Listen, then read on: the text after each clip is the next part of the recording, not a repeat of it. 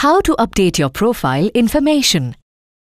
Here's how you can check and update your profile on sbicard.com.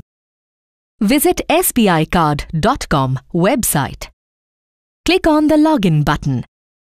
Enter your sbicard.com user ID and password and click on login button.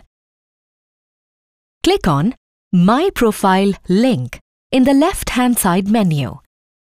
To change your password, click on the Change Password tab and enter your current password.